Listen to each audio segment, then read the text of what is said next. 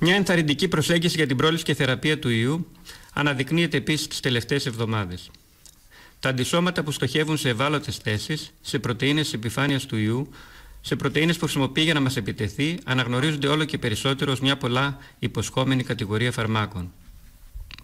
Ένα τέτοιο αντίσωμα που, εξετε, που εξοδετερώνει την ικανότητα του ιού να μας μολύνει, ένα τέτοιο αντίσωμα που θα παρασκευάζαμε σε μεγάλη ποσότητα, τα λεγόμενα μονοκλονικά αντισώματα, θα μπορούσαν να οδηγήσουν σε πρόληψη και θεραπεία της νόσου. Ένα τέτοιο ανθρώπινο αντίσωμα παρουσιάστηκε για πρώτη φορά σε χθεσινή ανακοίνωση Ολλανδών επιστημόνων και αποτελεί οπωσδήποτε μεγάλη επιστημονική επιτυχία. Πολλές ομάδες στον κόσμο μελετούν τέτοια αντισώματα. Η νέα πανδημία αντιπροσωπεύει τη μεγαλύτερη απειλή για τις ζωές τα προστοζήν και τις οικονομίες μετά το Δεύτερο Παγκόσμιο Πόλεμο.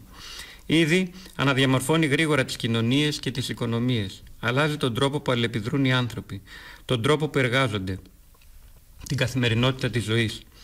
Τον Απρίλιο του τρέχοντος έτους, στο 1 τρίτο του παγκόσμιου πληθυσμού, είχε εφαρμοστεί κάποιος περιορισμός στην ελεύθερη μετακίνηση των πολιτών.